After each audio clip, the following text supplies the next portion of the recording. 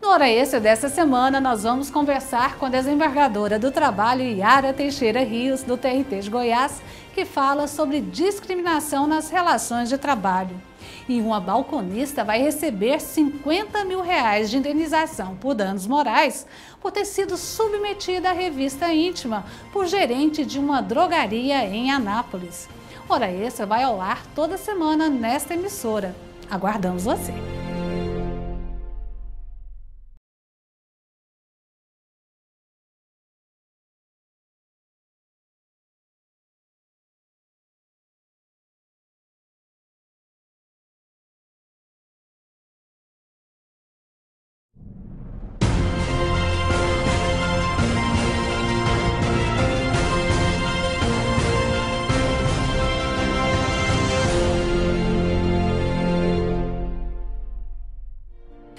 Começando mais uma edição do Hora Extra e neste programa você vai conferir as seguintes notícias.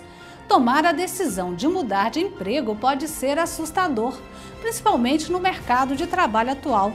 Saiba quais os cuidados e quando tomar essa decisão. Balconista submetida à revista íntima por gerente será indenizada por dano moral. E no bloco de entrevistas, nós conversamos com a desembargadora Iara Teixeira Rios, do TRT de Goiás, que vai falar sobre discriminação nas relações de trabalho. Ora, esse está começando agora. Uma balconista submetida à revista íntima por gerente da drogaria Rosário em Anápolis vai receber 50 mil reais de indenização por danos morais. Cinco funcionárias de uma drogaria em Anápolis foram obrigadas a se despir diante do gerente. O fato aconteceu após o desaparecimento da quantia de 100 reais na empresa. Conforme uma das trabalhadoras que ajuizou a ação trabalhista contra a empresa, o fato tratava-se de pretexto para que as trabalhadoras ficassem nuas na presença do gerente. Elas trabalhavam nessa farmácia aqui em Anápolis e foram obrigadas pelo gerente da empresa a tirarem toda a roupa, inclusive as peças íntimas. Tudo isso para provar que não estavam com 100 reais que havia sumido na empresa. A balconista AR, que nesta reportagem não quis ser identificada, conta como tudo aconteceu. Tudo aconteceu quando é, sumiu 100 reais de uma outra funcionária lá da drogaria Rosário e nós fomos submetidas à revista íntima. O gerente chegou na loja, isso já tinha passado o horário dele de trabalho. Ele chegou na loja e mandou todas entrarem para dentro do banheiro e que eram para tirar até a roupa íntima, até a calcinha e sutiã. Ele não poderia ter feito isso. Isso é, é uma. Ele foi. abusou do direito que ele não tinha. Que foi de deixar nós pelados na frente dele, né? Outras três funcionárias que passaram pela mesma situação também ajuizaram ação trabalhista contra a empresa. No processo desta balconista, a empresa foi condenada ao pagamento de 50 mil reais de indenização por danos morais, por ter extrapolado os limites do poder fiscalizatório com violação à intimidade e à dignidade da trabalhadora. O advogado trabalhista Neves Teodoro explicou que o assédio sexual geralmente é difícil de ser provado, mas nesse caso, o fato de ter ocorrido com cinco mulheres facilitou a comprovação do assédio. Nesse caso, facilitou muito o nosso trabalho, porque ocorreu com cinco pessoas ao mesmo tempo. Né? Então, uma pôde prestar depoimento para a outra.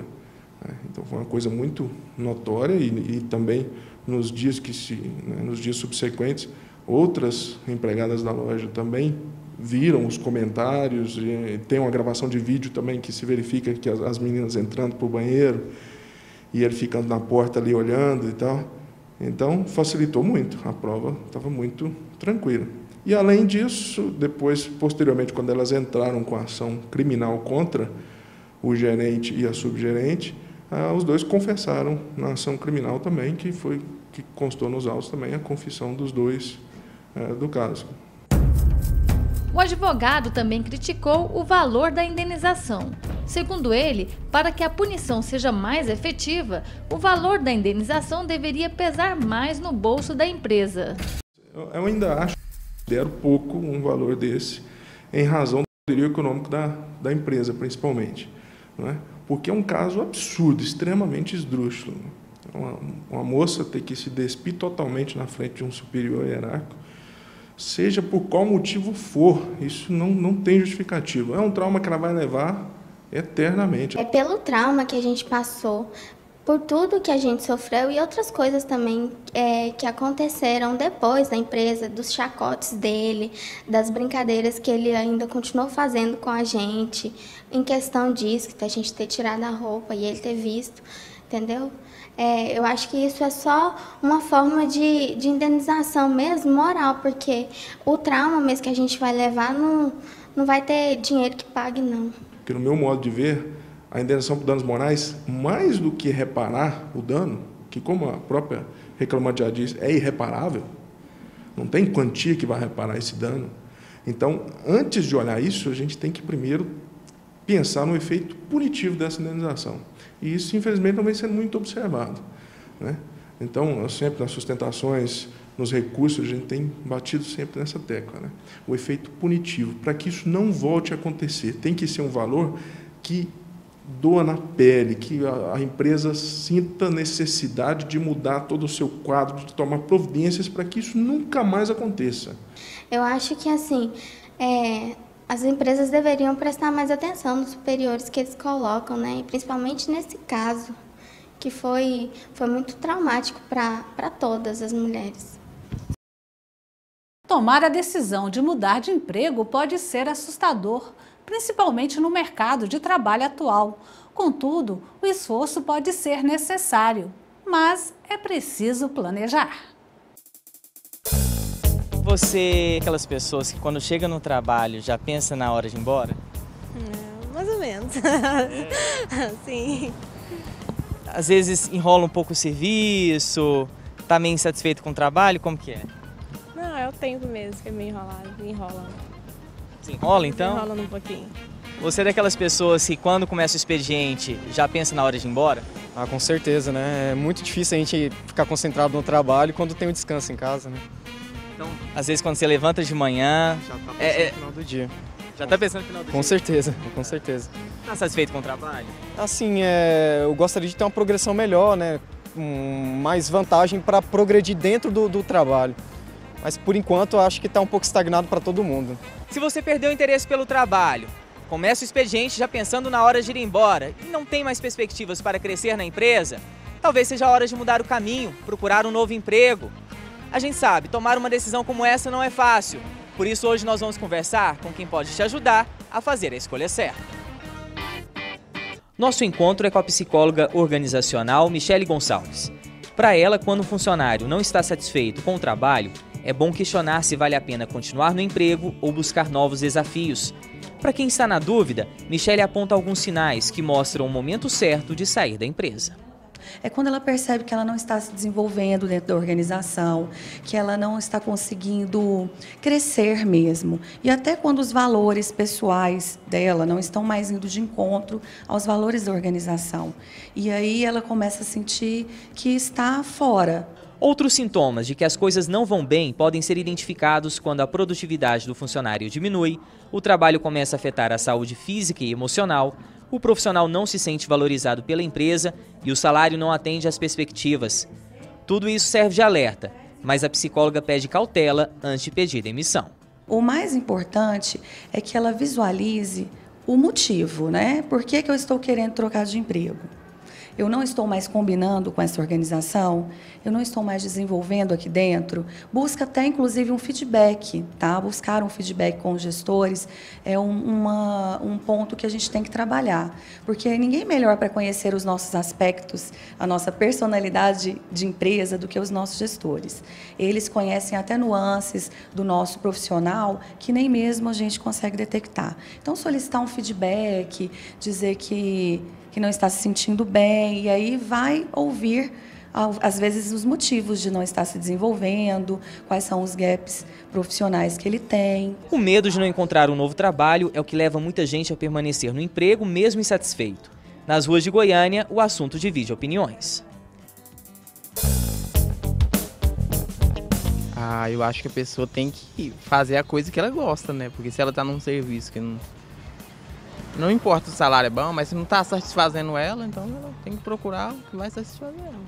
A gente tenta se manter no emprego pela necessidade, então a gente pensa não tanto na satisfação com o emprego, mas o que a gente precisa levar para casa, todas as contas que a gente precisa pagar.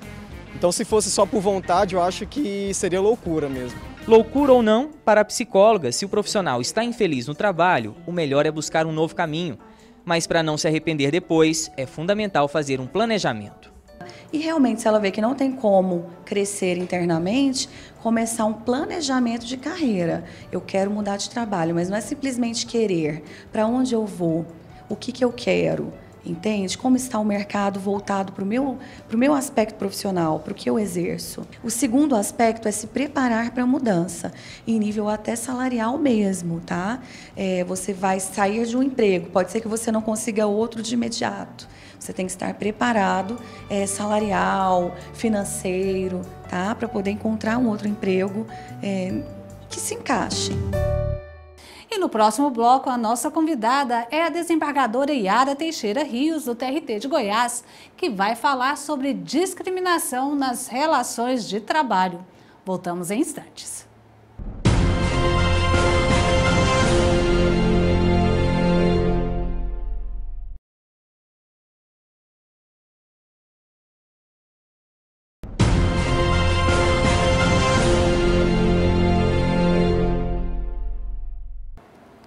A sociedade enfrenta o preconceito e a discriminação nas relações humanas e de que forma isso afeta as relações de trabalho? Quais as principais formas de discriminação nas relações do trabalho e o que dispõe a legislação a respeito desta matéria? Na entrevista de hoje, nós conversamos com a desembargadora Iara Teixeira Rios, do TRT de Goiás, que vai falar sobre as práticas discriminatórias na sociedade contemporânea atual, que se contrapõem ao também atual conceito de trabalho decente. Desembargadora, seja bem-vinda à Hora Extra e eu gostaria de saber em que medida as práticas discriminatórias nas relações de trabalho são coibidas. É, existe legislação sobre esse assunto? O nosso ordenamento jurídico ele dispõe de várias normas que tratam da questão da discriminação. O Brasil é signatário da Convenção número 111 da Organização Internacional do Trabalho. Temos também a Constituição Federal de 1998, que traz vários dispositivos que trata da matéria, e também a Lei 9029 de 1995, que trata mais especificamente de questão relacionada ao contrato de trabalho. Com relação à Constituição da República, ela realmente foi inovadora nessa questão? Sim, considero que a Constituição Federal de 1998 foi um avanço na tratativa dessa matéria. É, ela estabelece vários artigos que trata da da isonomia de direitos. É, o artigo 5 diz que todos são iguais perante a lei, é, homens e mulheres têm os mesmos direitos e obrigações. Então, inclusive, é, o artigo 1 da Constituição Federal dispõe que é sobre a dignidade da pessoa humana. Nós, é, é, é também é, política, previsto políticas para poder diminuir as desigualdades regionais, diferenciações. Então, eu, eu considero que hoje nós temos sim um, um, um arcabouço jurídico muito bom para tratar dessas matérias. Especificamente quanto à Lei 9029 de 95, ela oferece uma nova opção ao trabalhador, a reintegração. A Justiça tem decidido nessa, nesse sentido de, de, de reintegrar o trabalhador? Sim, é, a Lei 9.029 ela proíbe atos discriminatórios tanto na admissão quanto na vigência do contrato de trabalho. Então, o trabalhador que, que sofreu um ato discriminatório, que, que for despedido, ele tem direito à reintegração, então ele pode postular a reintegração ao seu posto de trabalho ou pedir o pagamento em dobro. E ainda assim, ele também tem direito à reparação pelos danos morais sofridos. Com relação à discriminação, quais são as práticas mais comuns discriminatórias nas relações de trabalho? É, são vários. Hoje nós temos discriminação por questão da idade, por gênero, é, temos também orientação sexual, é, de trabalhadores que possuem, que, que, sofrem de doenças congênitas ou adquiridas. Temos também discriminação pelo, por peticionar é, na Justiça do Trabalho. É... Cor ainda pesa, pesa. Na, na, hora de tentar um emprego? Pesa. Questão racial, questão da aparência, isso tudo ainda é, são levam a práticas discriminatórias. Na hora que o empregar, que um trabalhador vai tentar uma vaga, a empresa pode exigir que no preenchimento do formulário é, também esse trabalhador deixe a sua fotografia, inclua a sua fotografia? Olha, não é uma prática é, aceitável, porque isso não é um requisito para o acesso ao posto de trabalho. É, inclusive, já as empresas no passado, foram é, orientadas pelo Ministério Público do Trabalho a não adotar essa prática. Vários jornais que publicaram esse tipo de, de anúncio foram chamados a ajustar, fazer termos de ajustamento de conduta, é, pra, não, não utilizando destas exigências. E quanto à força física, vamos dizer, não, olha, eu quero homem porque nesse trabalho precisa de ter muita força física, a mulher tem menos, tem, tem menos preparo para suportar a carga de trabalho.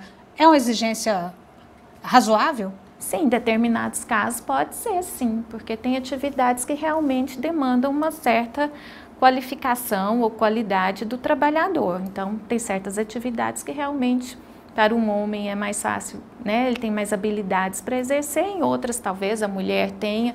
Então a gente tem que analisar caso a caso. Nem sempre a gente pode tratar a matéria o fato como ato discriminatório. Geralmente a discriminação é, é, acontece junto a grupos que são minoritários, né? São as minorias. Mas no caso da mulher, a mulher ainda é discriminada nos postos de trabalho, porque na verdade a mulher é maioria. Sim. Ou pelo menos 50% da população, né? É, e hoje a gente vê que a mulher está bem integrada já ao mercado de trabalho, né? Mas pelos dados estatísticos que temos, as mulheres, é, embora é, muitos, muitas vezes exercendo a mesma função de um homem, ela tem um é, uma remuneração bem aquém daquela conferida aos homens. Na sua opinião, por exemplo, hoje ainda, nos cargos de chefia, grande maioria eh, desses cargos é preenchida por homens. Isso acontece, na sua opinião, por, também por um fator de discriminação? Pode ser. Eu acredito que exista um preconceito, né, por achar que a mulher, é, por ser mãe, ter outras atividades também, é, é, atividades domésticas, né, que hoje no Brasil a mulher essas atividades ainda são inerentes a ela, isso pode levar, sim, o empregador a talvez preterir a contratar uma mulher e preferir um homem. Hoje a gente já vê as mulheres avançando nesses postos de chefia, mas ainda é reduzido. E quanto a, a testes, né, pré-contratação, por assim dizer, é, a empresa pode exigir que a mulher apresente é, atestados comprovando que ela não está grávida? Isso é legal? Não, a Lei 9029 veda expressamente esse tipo de exigência. É, as empresas não podem exigir qualquer, quaisquer tipos de testes, laudos médicos que comprovem ou é, exames que comprovem gravidez ou esterilização da mulher. Inclusive, isso constitui crime de acordo com a Lei 9029. Mas o empregador ele pode exigir exames que comprovem o estado de saúde do trabalhador de uma forma geral? Não, para exigir para que fim?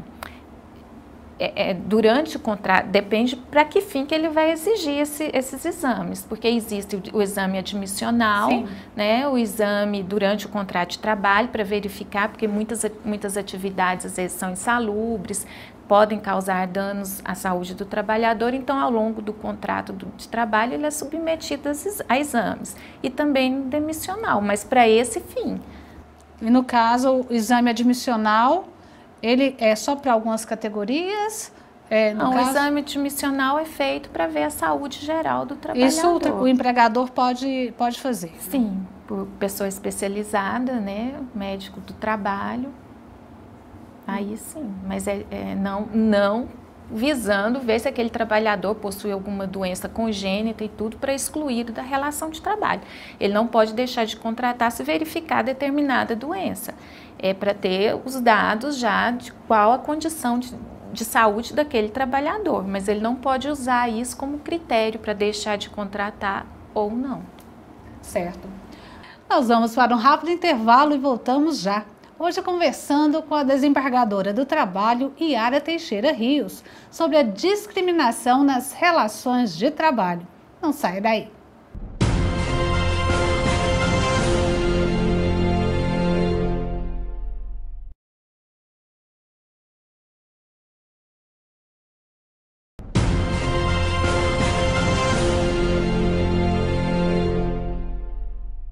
Nós estamos de volta, hoje conversando com a desembargadora do Trabalho, Iara Teixeira Rios, sobre a discriminação nas relações de trabalho. Desembargadora, até que ponto a discriminação ela acontece por estigma né, social e até que ponto ela é realmente porque a, a empresa pode ter prejuízo com determinado trabalhador? Eu acho, eu acho interessante a sua pergunta, porque realmente nem sempre a discriminação decorre de preconceito, né? principalmente nessas relações de trabalho. Porque muitas vezes a manutenção, a contratação ou manutenção de determinado trabalhador é, nos quadros da empresa pode gerar um custo operacional. Então a empresa opta por não contratar ou por demiti-lo nesse momento ela estaria fugindo da sua função social. Sim, fugindo da sua função social. Tanto que nós temos, é, recent, em, mil, em 2012, foi editada a súmula 443 do TST, que, que trata da questão da, do trabalhador portador de HIV ou doenças graves congênitas é, que de, essa, essa súmula prevê a reintegração do trabalhador. Então, muitas vezes, não é só por preconceito. É, a empresa já começa a se preocupar com o custo que ela vai ter por manter aquele trabalhador que já apresenta algum tipo de doença. As constantes condenações do judiciário em indenização por danos morais têm contribuído para coibir essas práticas de discriminação nas relações de trabalho? Tem contribuído sim. Nos últimos anos, o Judiciário Trabalhista tem deferido muitas indenizações, é, reparação por dan com reparação por danos morais, é, decisões que determinam reintegração do trabalhador ao, ao seu posto de trabalho. E acho que temos que considerar também as ações civis públicas que têm surtido um bom resultado também é, porque determina-se a obrigação de fazer e não fazer, e também é, condenações por dano moral coletivo, que normalmente são em, em quantias vultosas, né? Então, essas, essas decisões do judiciário têm contribuído, sim, para conscientizar e também para efeito pedagógico nas relações de trabalho. Justamente com relação a esse efeito pedagógico, as ações afirmativas de combate à discriminação poderiam ser mais eficazes no Brasil, assim como acontece nos Estados Unidos, onde o Estado não contrata é, empresas reconhecidas como praticantes de discriminação. No Brasil, tem se adotado essa medida também? Sim, hoje nós já temos já algumas ações afirmativas. É, o artigo 93 da Lei 8.212 já prevê a contratação de portadores de deficiência para empresas que têm mais de 100 empregados. Temos também é, a previsão de cotas para deficientes físicos nos concursos públicos. A própria lei de aprendizes, que prevê um número de aprendizes na empresa, porque hoje a gente vê que o, o, o jovem, muitas vezes, ele é excluído do mercado de trabalho, justamente por não ter experiência, né, por ser jovem. Então, todas essas medidas têm contribuído para amenizar o afastamento dessas minorias né, no mercado de trabalho. É comum ouvir que empresas fazem listas relacionadas a trabalhadores que já moveram ações trabalhistas, as chamadas listas sujas. Isso também concretiza uma forma de discriminação? Sim, certamente concretiza uma forma de discriminação e, e ocorre mesmo. É, é, alguns segmentos empresariais, eles é, mantêm essas listas é, com os nomes de trabalhadores que já ajuizaram ações trabalhistas e compartilham entre as empresas essas listas é, e é uma prática discriminatória e porque o direito de acesso ao poder judiciário todos temos, a previsão é lei, é, todos têm direito realmente de mover uma ação quando se sente prejudicado. Sim. É, a senhora falou sobre ah, o percentual de deficientes físicos que uma empresa deve contratar quando tem acima de 100 empregados, de 100 acima empregados. Muitos empresários alegam que não conseguem atingir a, aquela cota mínima estabelecida porque não tem trabalhadores portadores de deficiência com treinamento suficiente para serem contratados. Isso é justificativa? É, hoje nós vivemos uma situação que existe o preconceito, existe a discriminação, sim, várias empresas são resistentes, se recusam mesmo a contratar, mas também existe a falta de mão de obra qualificada no mercado de trabalho. Então, as empresas também têm essa dificuldade. Então, hoje convivemos com esses dois lados. Mas a obrigação é da empresa ou do Estado de formar esse trabalhador portador de necessidades especiais? Pela legislação que temos hoje, é, a empresa ela pode formar, fornecer, né, dar cursos, mas temos associações também é, capacitadas para isso. Então, isso é uma obrigação é, da sociedade em geral. Desembargador Iara, para finalizar, na sua opinião, o princípio da não discriminação nas relações de trabalho é um dos pilares estratégicos para realmente termos trabalho decente no nosso país? Sim, inclusive uma das, uma das prioridades do, da Agenda Nacional de Trabalho Decente é criar, é, é, criar postos de trabalho com mais e melhores é, salários né, e condições e garantir a igualdade de oportunidade a todos. E só combatendo a discriminação para a gente conseguir isso, não é isso? Sim, não basta só a lei garantir, dizer que todos são iguais, né? Preciso que realmente haja efetividade e garantia de, de oportunidades iguais a todos. Eu conversei com a desembargadora Yara Rios, do TRT de Goiás, sobre a discriminação nas relações de trabalho. Doutora Yara, muito obrigada mais uma vez pela sua presença aqui no Hora Extra. Eu que agradeço. Esta edição do Hora Extra chega ao fim. Muito obrigada pela sua atenção e até a próxima semana. Mais informações sobre o TRT de Goiás você acompanha no Twitter e no Facebook.